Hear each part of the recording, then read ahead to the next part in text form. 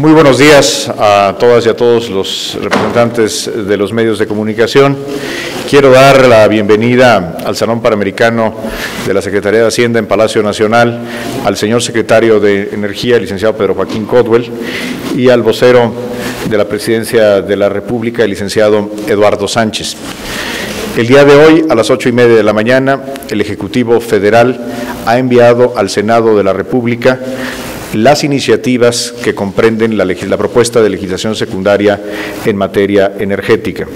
Quiero destacar que en el envío se solicita al Senado de la República turnar a la Cámara de Diputados las iniciativas que corresponden a la materia fiscal para que sea la Cámara de Diputados Cámara de origen en materia fiscal, tanto en el sector eh, eh, de petróleo y gas como de electricidad.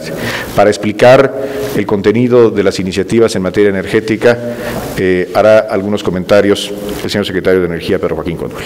Como ha mencionado el doctor Luis Videgaray, ha presentado el presidente de la República eh, al Senado un paquete de legislación secundaria que consta de 21 leyes agrupadas en nueve bloques. Se trata de ocho leyes nuevas y 13 que van a sufrir modificaciones. Los principios rectores de este trascendente paquete de reformas a la legislación secundaria en materia energética son los siguientes. Se reafirma el principio constitucional que la propiedad de los hidrocarburos en el subsuelo es de la nación. El segundo es la libre concurrencia y la competencia entre empresas del Estado y particulares en todas las actividades, tanto en la exploración y producción, transformación, logística y electricidad, en beneficio de los consumidores. La única excepción es la venta al público de gasolinas, cuya apertura se hará con gradualidad conforme se vaya construyendo la infraestructura que se requiere y se vayan dando las condiciones efectivas de competencia. El tercer principio que anima este paquete es el fortalecimiento de las empresas públicas y de los órganos reguladores, la Comisión Reguladora de Energía y la Comisión Nacional de Hidrocarburos, así como la Secretaría de Energía. El cuarto es el énfasis en la transparencia y la rendición de cuentas. A lo largo de todo el proceso de adjudicación y administración de los contratos inherentes a las actividades extractivas de los hidrocarburos. El quinto es la protección al medio ambiente y el fomento de las energías limpias. En cuanto a los contratos, los aspectos más relevantes, particularmente de los contratos de exploración y extracción, eh, conocidos como en la decreto constitucional como contratos de utilidad, de producción compartida, así como de licencias, se establece que el principio de que todo se establece el principio de que todos los contratos serán adjudicados por licitación pública y el criterio de adjudicación será para el participante que ofrezca las mejores condiciones económicas al Estado mexicano. En materia de contratos se aplicarán cinco reglas de transparencia. Todas las rondas licitatorias de los contratos serán públicas y transmitidas en tiempo real a través de Internet. Los contratos contendrán cláusulas de transparencia para que puedan ser consultados por cualquier interesado. Las empresas deberán hacer públicos los costos incurridos y los pagos que reciban del Estado. Serán públicos también los recursos que reciba el Estado por los hidrocarburos que se extraigan, así como el uso y destino que se les dé. Por otra parte, habrá pesos y contrapesos entre cuatro instancias del Estado para asegurar la transparencia y la rendición de cuentas, evitando que decisiones discrecionales se concentren en una sola autoridad. Estas instituciones que participarán en el proceso de licitación son la Secretaría de Energía, que hará los lineamientos técnicos de los contratos, la Secretaría de Hacienda, que fijará el régimen económico y fiscal, la Comisión Nacional de Hidrocarburos, que realizará las licitaciones, asignará los contratos y los administrará. Finalmente, el Fondo Mexicano del Petróleo, fiduciario del Banco de México, que hará los pagos correspondientes a los contratos y el manejo y administración de los ingresos petroleros, con excepción de los impuestos. Las causales de rescisión administrativa de los contratos serán por motivo grave, entre otras, cuando exista incumplimiento en los planes de exploración o de, de desarrollo que hayan presentado ante la Comisión Nacional de Hidrocarburos. Cuando se proporciona información falsa a las autoridades del sector, por no realizar también los pagos convenidos con el Estado, por daños a las personas o al medio ambiente, y la causal que responde a nuestro contexto histórico, el desacato a resoluciones del Poder Judicial Federal donde se estime que pudiese existir un yacimiento transfronterizo la legislación secundaria propone que sea obligatorio contar con una participación de Pemex por lo menos del 20%. No será obligatorio que Pemex participe como operador, pero sí como socio del proyecto, con el objeto de tener acceso a la información y al manejo de nuestros recursos, salvaguardando el interés nacional. Por lo que respecta a los órganos reguladores coordinados del sector energético, se fortalecen al asumir nuevas atribuciones, tanto en la licitación, suscripción y administración de los contratos, como en el otorgamiento de permisos para actividades de transporte, almacenamiento y distribución. La CNH y la CRE contarán con autonomía técnica y de gestión tendrán autosuficiencia presupuestal a partir del cobro de derechos y aprovechamientos. Los comisionados integrantes de estos órganos reguladores serán propuestos por el presidente de la República y designados por el Senado a partir de una terna. Durarán en sus cargos siete años y se renovarán escalonadamente se creará el Consejo de Coordinación del Sector Energético, integrado por el secretario de Energía y las tres subsecretarías. Los comisionados presidentes de los órganos reguladores coordinados, la Comisión de Hidrocarburos y la Comisión Reguladora de Energía y los directores de los dos nuevos organismos públicos descentralizados que crea la reforma, el Centro Nacional de Gas Natural y el Centro Nacional de Control de Energía. Podrán ser invitadas otras instancias del gobierno federal. Este Consejo de Coordinación del Sector Energético buscará la armonización de los programas de trabajo de los órganos reguladores con la política energética del país que fije el gobierno federal. Los órganos reguladores coordinados estarán sujetos a estrictas normas de transparencia y de rendición de cuentas. Destaco aquí algunas de ellas. Se les obliga a que cuenten con un código de ética, los comisionados estarán impedidos para conocer asuntos en que tengan conflicto de interés y podrán ser removidos por este causal. Las sesiones, acuerdos y sus resoluciones serán públicas. Habrán reglas para llevar a cabo las audiencias que sostengan con los sujetos regulados, con las empresas. En ningún caso un solo comisionado podrá reunirse con las empresas.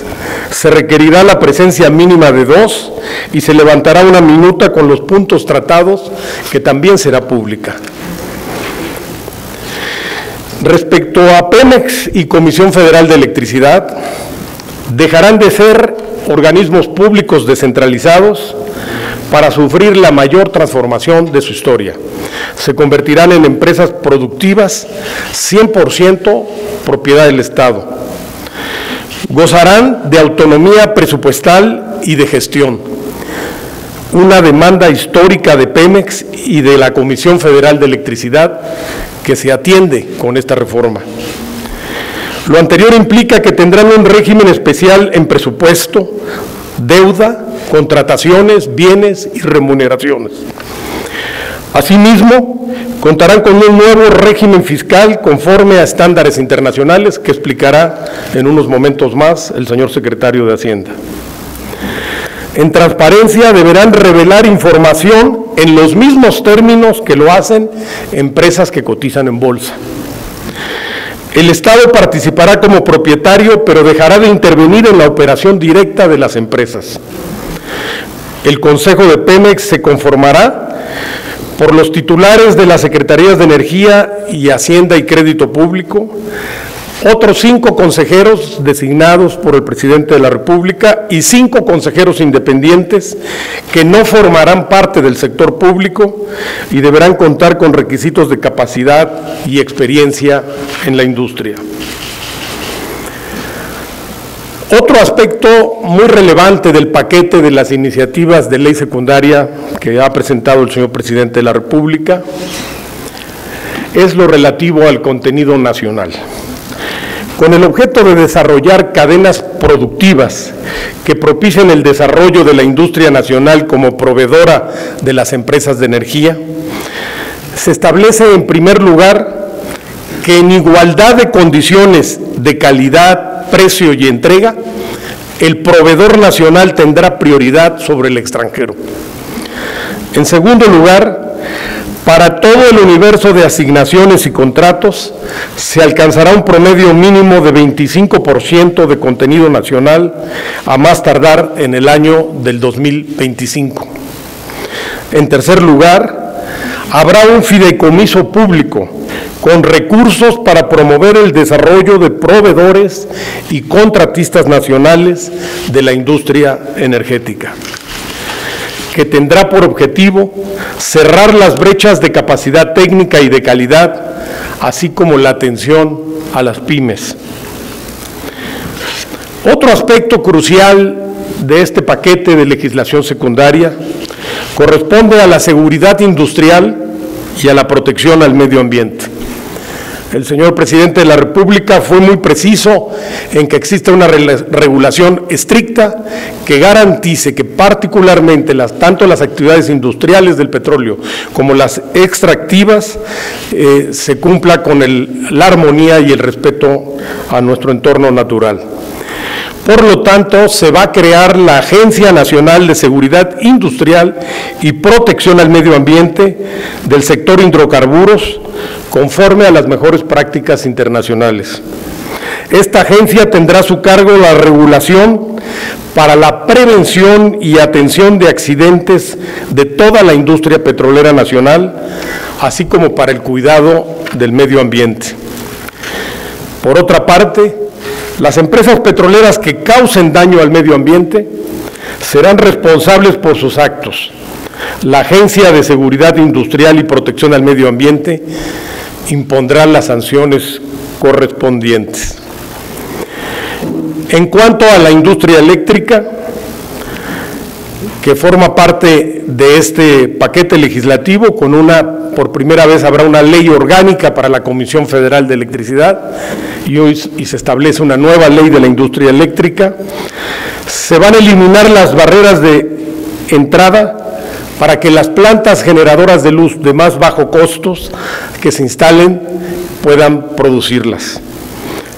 Todos los generadores podrán participar en el mercado eléctrico que se irá formando en el marco legal de la reforma y se van a eliminar todos los obstáculos a la integración de energías renovables a la, a la red eléctrica. El nuevo organismo descentralizado del sector eléctrico que controlará el despacho del Sistema Eléctrico Nacional, el SENACE, va a garantizar que los generadores con costos más baratos despachen primero su energía en beneficio de los consumidores. Y se propone una ley especial para impulsar una energía renovable en la que México está particularmente dotado, que es la energía geotérmica.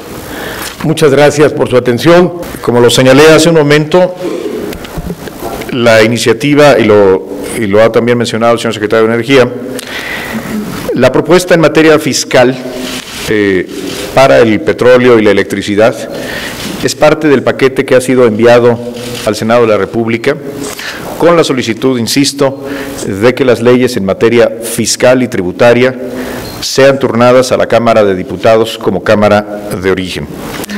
La propuesta en materia fiscal consiste en dos nuevas leyes, la Ley de Ingresos sobre Hidrocarburos y la nueva ley del Fondo Mexicano del Petróleo para la Estabilización y el Desarrollo.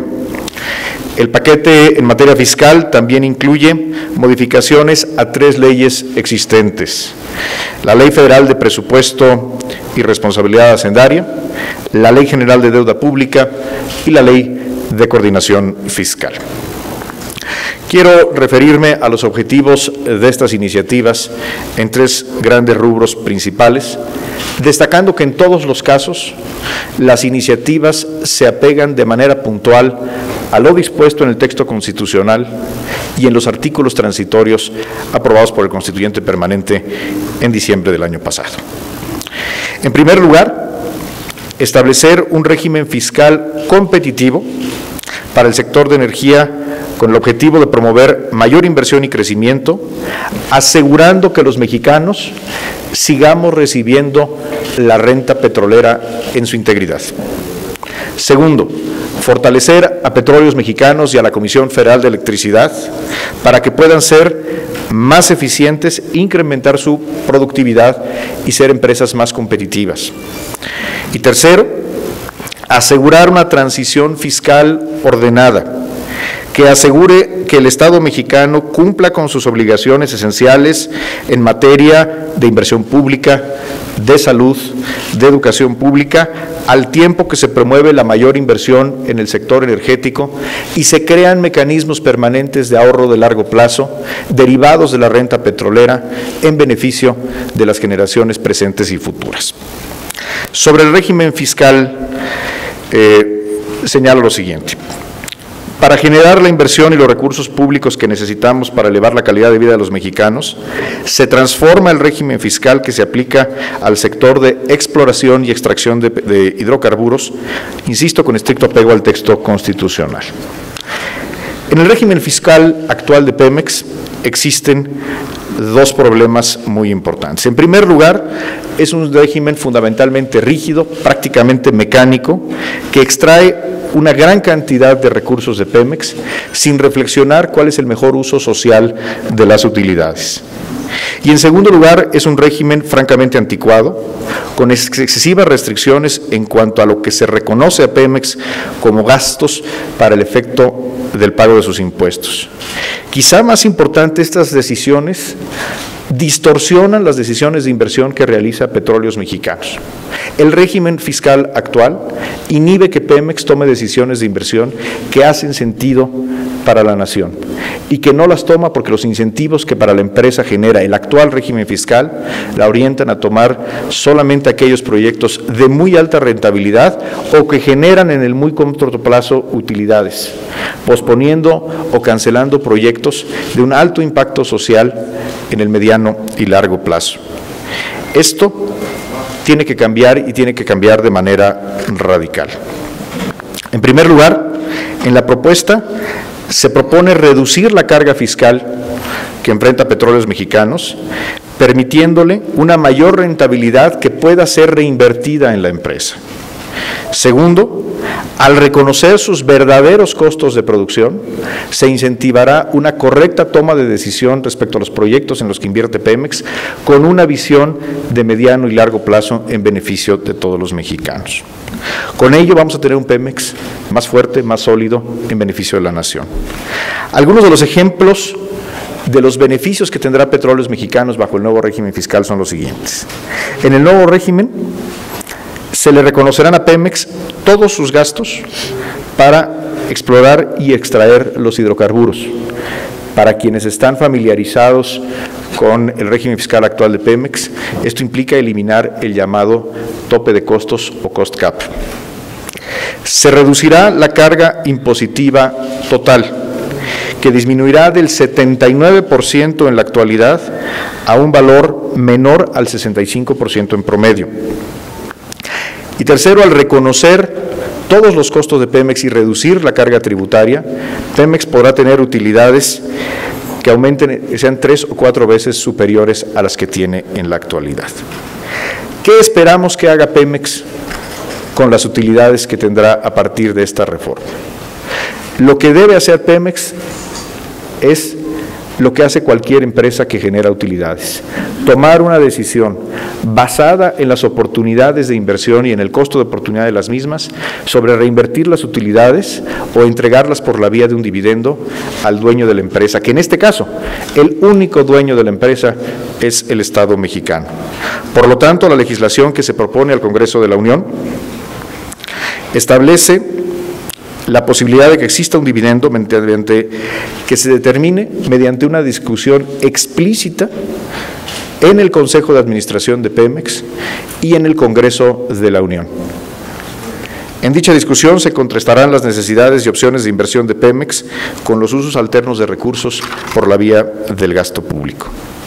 Se trata, en otras palabras, de decidir el mejor uso que le podemos dar a las utilidades de Pemex con una visión integral y de largo plazo. Esta es una discusión que en México nunca hemos tenido. Una discusión que involucre un verdadero análisis de las opciones, de las oportunidades de inversión en Pemex, contrastadas con su costo de oportunidad de inversión en otros rubros del gasto público. La magnitud de los cambios al régimen fiscal de petróleos mexicanos y la importancia de la actual aportación que hace Petróleos Mexicanos a las finanzas públicas eh, obliga y aconseja a una transición ordenada para llegar a este régimen fiscal, transición que se propone que ocurra en un periodo gradualmente a lo largo de 10 años. El nuevo régimen fiscal de Pemex aplicará también para los contratos que se establezcan con participantes privados. ¿Qué quiere decir esto? La estructura fiscal de los contratos y las asignaciones que tenga Pemex deberá ser equipalable y competitiva con la que tengan los agentes privados.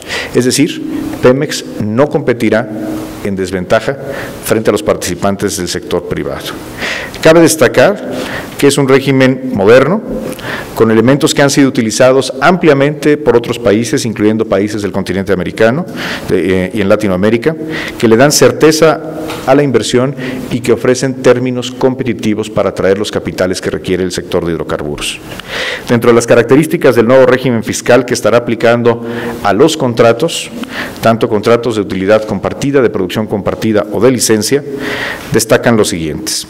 Primero, se establecerá una cuota contractual mínima que garantiza al Estado mexicano recibir un flujo mínimo de ingresos independientemente de la etapa de desarrollo y de la rentabilidad de los proyectos.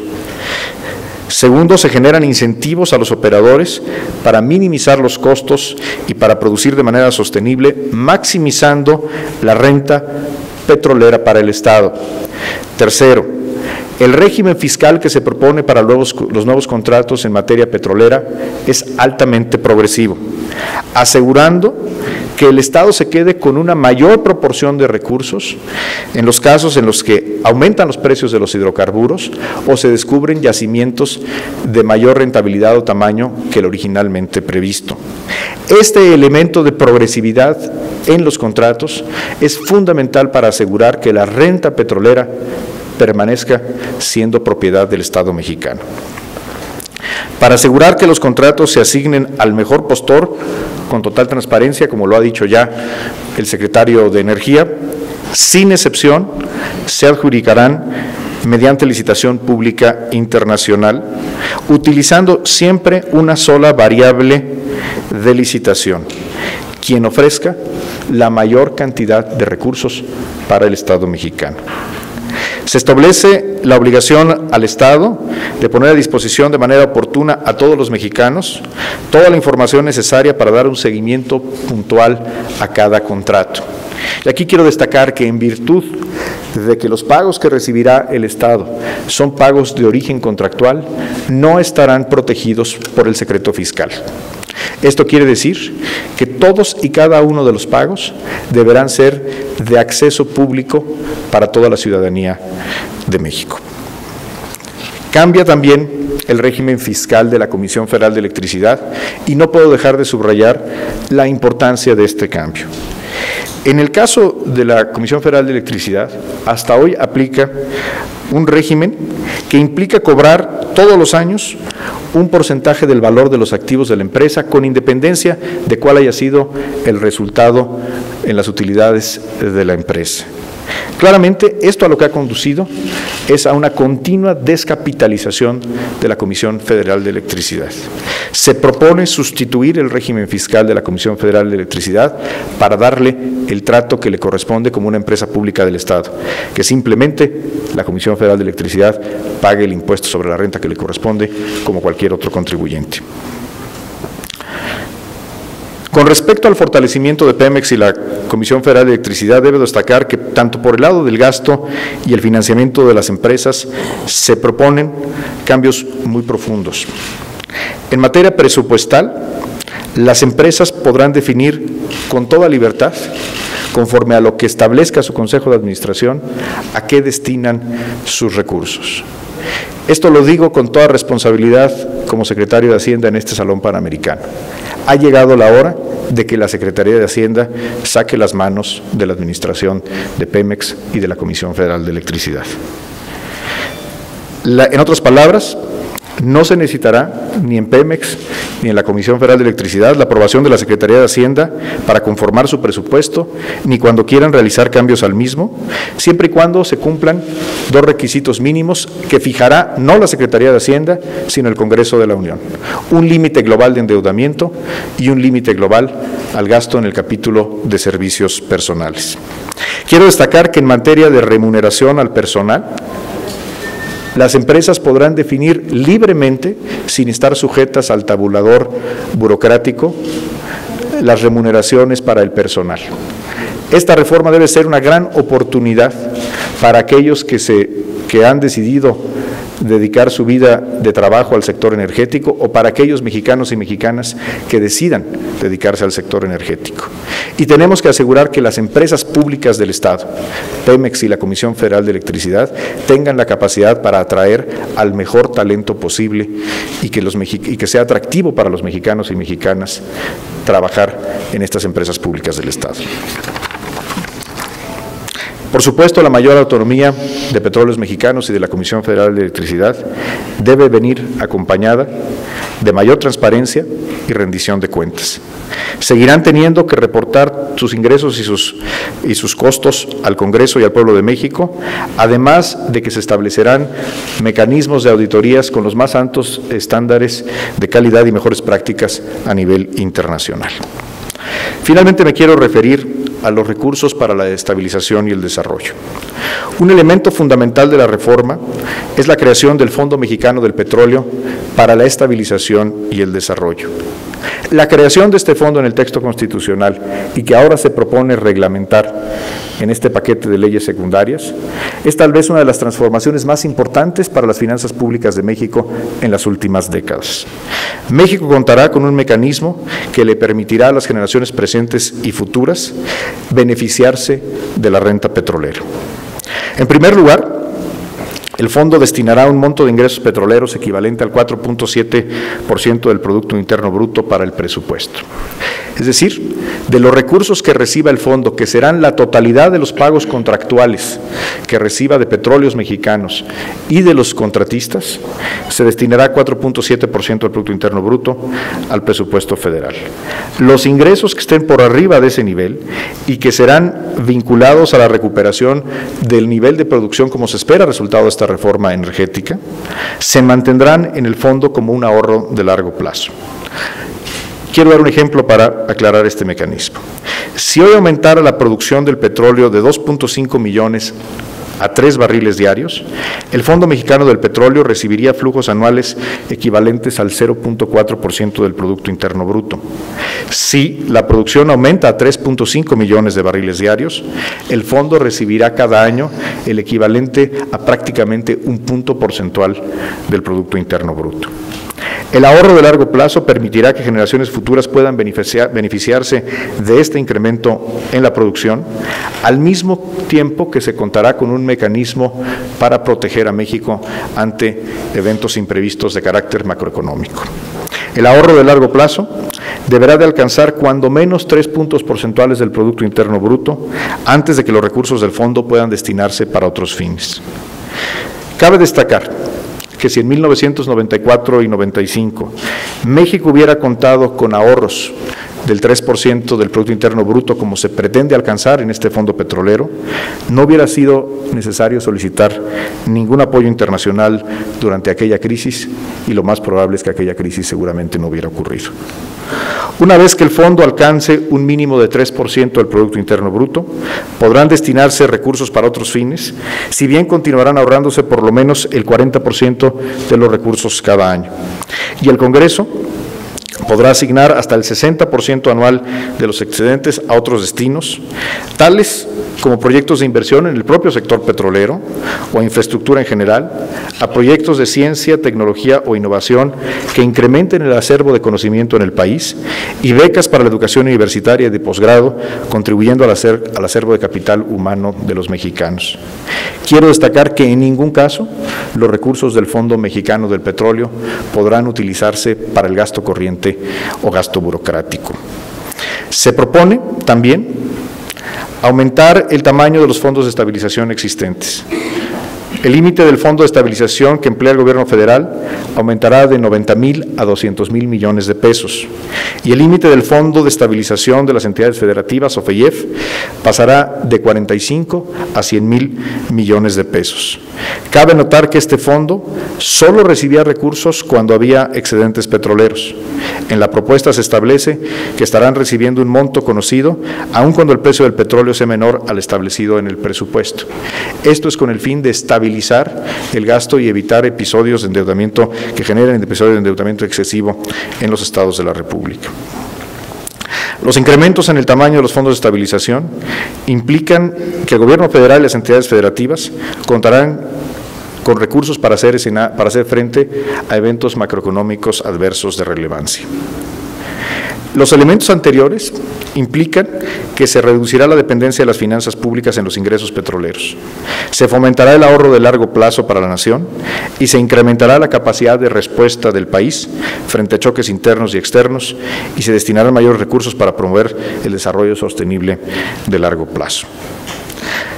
En síntesis, la propuesta en materia fiscal para modernizar el sector energético es uno de los instrumentos más poderosos con el que hemos contado en muchos años para transformar no solamente al sector de hidrocarburos y de electricidad, sino también las finanzas públicas y el desempeño de la economía.